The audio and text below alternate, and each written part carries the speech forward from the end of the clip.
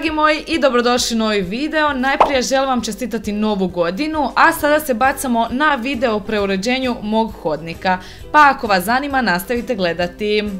Najveći dio našeg hodnika čini ormar ugradbeni kojeg upravo možete vidjeti. Nažalost on nam je postao mali tako da smo odlučili napraviti nešto potpuno drugačije.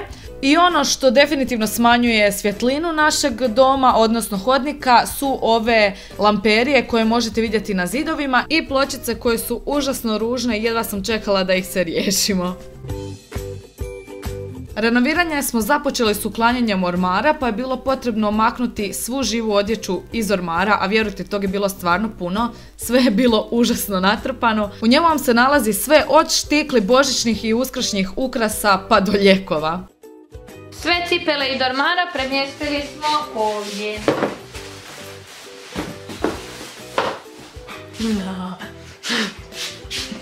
Vidite ko je najveći neradnik, a nite uopće nema u videu.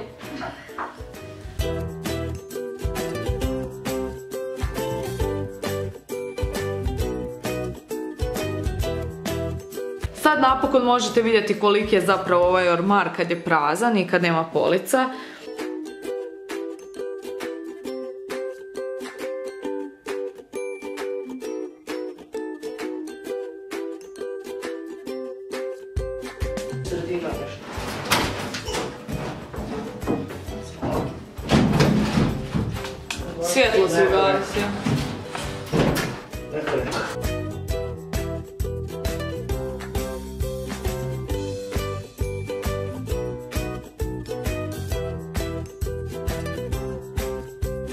Sad kad je ormar napokon maknut, nakon stvarno velike borbe, vrijeme je za rušenje zida. Iako vam se čini ovo kao mali zidić, vjerujte, kad to trebate nositi kroz stepenice sa četvrtog kata, baš i nije jednostavno, jer tu ima stvarno puno, puno cigla.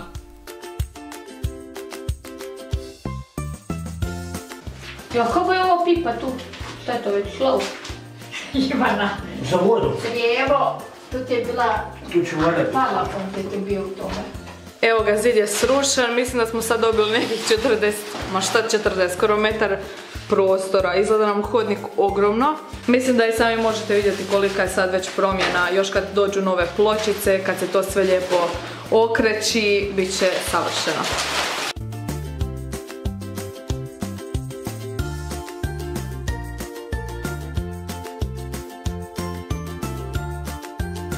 Pogledajte ovo umjetnička dijela od mene, Tamare i Ivane. Cijeli zid je pošaran, zapravo smo zato i imali lamperiju koja je kao što sad vidite skinuta. Po meni iskreno najdosadniji i najteži posao je krpanje i gletanje, ali za to smo imali stručnjaka. Sam je cool. Još malo. Pa da ti popravi. Bravo. Aj sad tu cigle te trpaj, vidi koliko tu imaš, to ispred sebe, da, bravo, e tako. A i previše je manje, tato. A da ti još, još si nagrabio odande. Sada možete vidjeti kako hodnik izgleda bez stvari i sa pokrpanim rupama. Nakon ovoga je uslijedilo postavljanje pločica, napokon je došlo vrijeme da se ovo makne. Nismo micali stare pločice, nego smo na njih lijepili nove. Ovdje na videu možete vidjeti nekako ljepilo koje Ivana stavlja na pločice. Pomoću njega vam se onda druge pločice bolje lijepe, odnosno ne kližu se svuda po podu. Nakon postavljanja pločica pokrećili smo zidove u bijelo. Bili su naranđasti ako se sjećate i dosta nam je dugo trebalo da pofarbamo sve to. Imali smo problema o kojima ne bih pričala jer je u isto vrijeme žalosno i smiješno. I onda je napokon završilo cijelo renoviranje i mogli smo početi s dekoriranjem, odnosno s postavljanjem ormara. Možete vidjeti kako divno izgleda.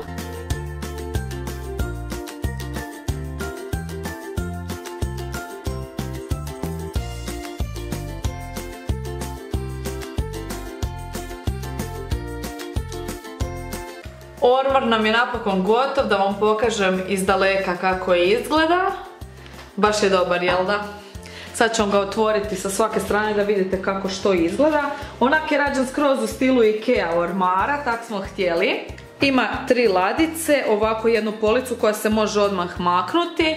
Tu su gore, a ova šipka za vješalice i gore su još dvije police. Srednji dio ormara mi je najdraži, sve ove police koje možete vidjeti su za cipele jer nam je ormar sad ujedno i cipelar. Tako da će tu biti posložene sve štikle i cipele, sad ćete vidjeti, to ćemo Ivana ja sad slagat.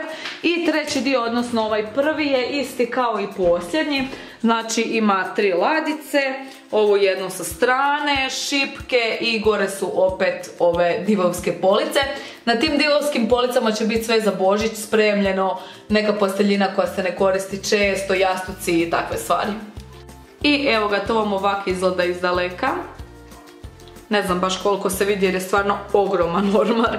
Ne znam ni sama koliko to metara ima. Kaj Baki? Kaj?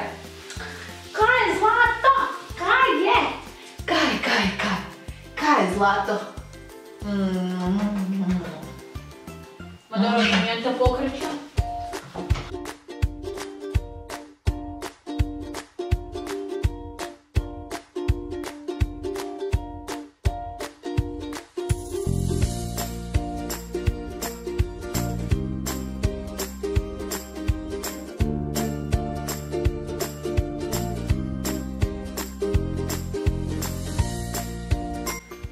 Trenutni horor.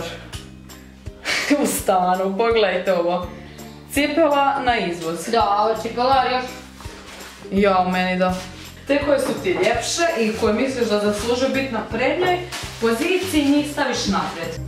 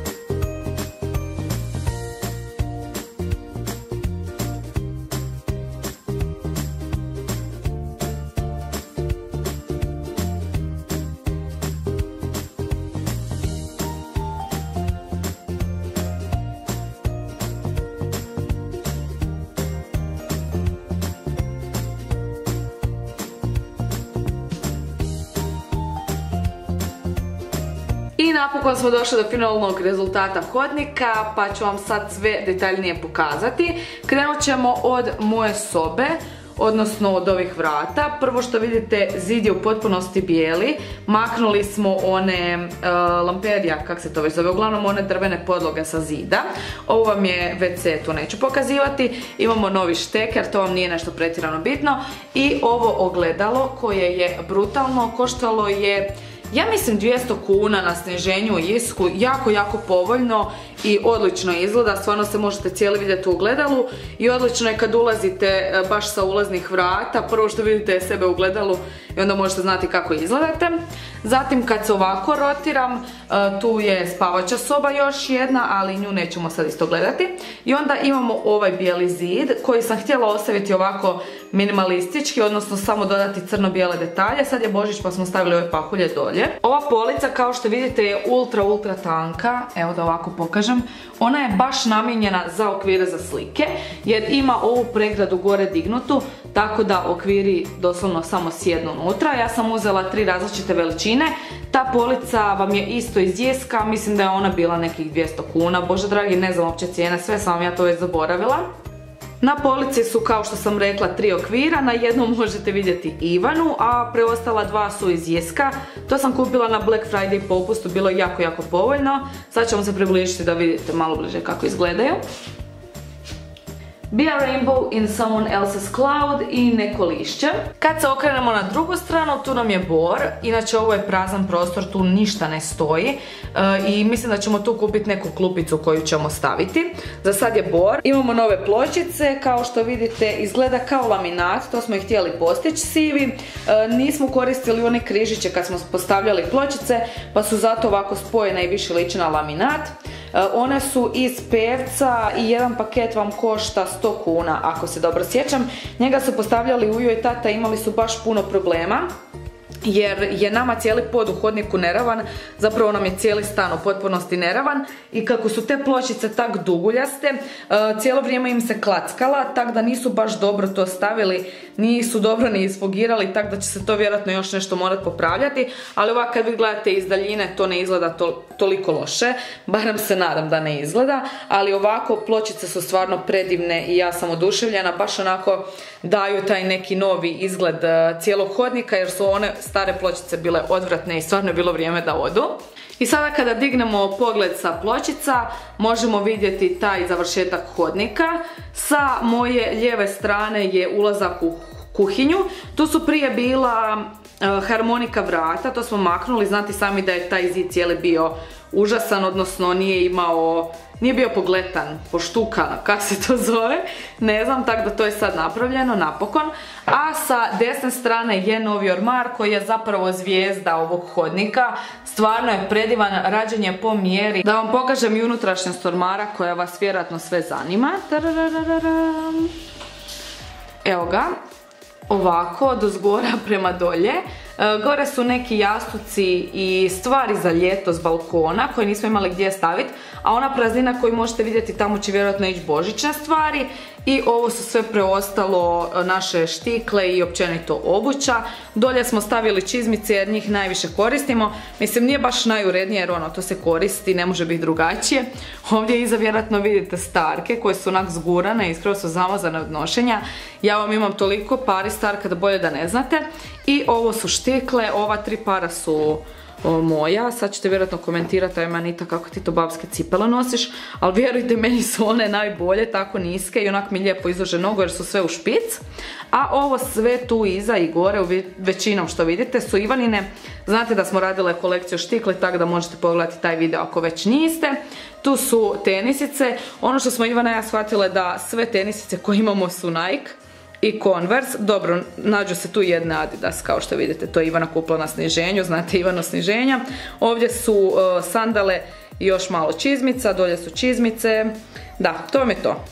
Nisam birala materijal za ovaj ormar, birale su ga mama Ivana, ja nisam baš htjela ovu sivu, htjela sam drugačiju, ali dobro, dakle, mi smo birali doslovno sve. Išli smo u Elgrad i tamo smo birali sve od čega će se sastojati. Birali smo koliko će biti ova unutarnja ploha, velika bijela, koliko će biti ove male.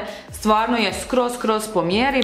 Ono ide skroz do vrha, kao što vidite ovdje gore ima ovu, um, kako se to zove, vodilicu po kojoj on putuje, jel, do stropa je. I da, lustere nismo promijenili, nažalost nismo uspjeli dovesti električara tako da, eto, nažalost, sad su stari lusteri, ali to planiram uskoro promijeniti. Da sam čekala cijeli, onak, baš da skroz bude gotov hodnik, opet preuređenje ne bi izašlo godinu dana kao što je tako potrajalo i sa sobom. Ovu staru kutiju koju vidite, to su vam osigurači, to mora ostati, bar mislim, ali mislim da će zgrada to mijenjati svuda uskoro i tu vam je zvono.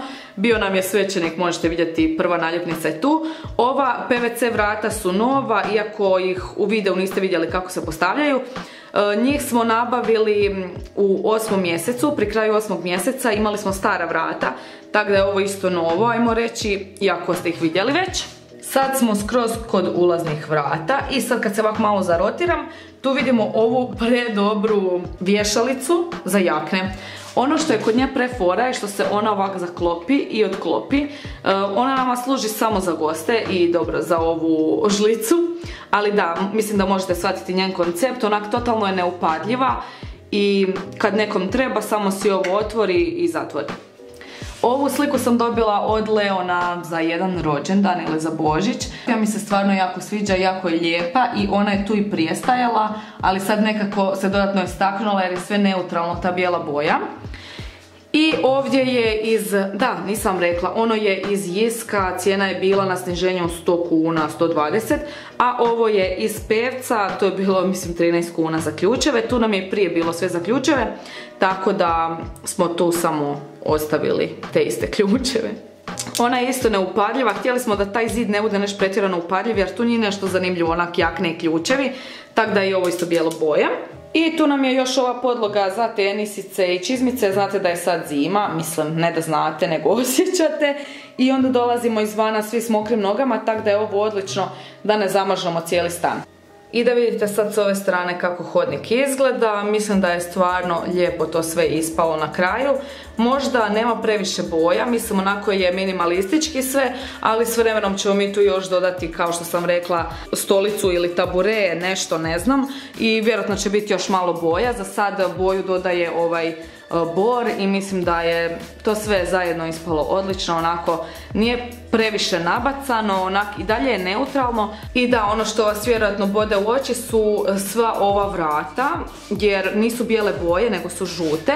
Nama je prije hodnik bio naranđast i onda se to toliko nije isticalo, a sad kak je zima odlučili smo ipak ne pofarbati to da ćemo čekat proljeće jer nemamo mi kud sa ovim vratima, mi kad njih izvadimo mi njih nemamo gdje staviti jer živimo u stanu, da živimo u kući bilo bi nam jednostavnije to sve farbati, ovak. Jednostavno nam nije praktično trenutno po ovoj zimi to raditi, ali i ta vrata će biti bijela, kao što sam rekla da snimam baš ono full full konačni rezultat, kako to izgleda ovaj bi video tek išao za godinu dana.